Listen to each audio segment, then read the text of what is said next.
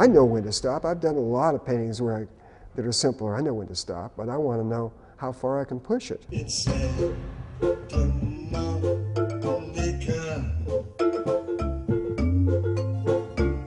There was a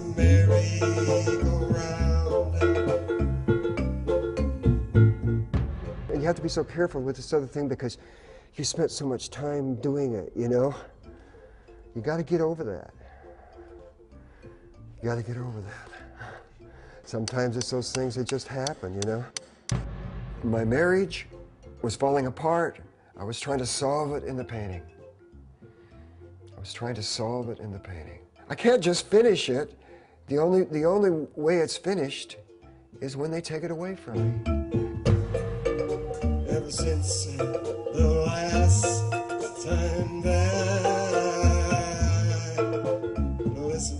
the sound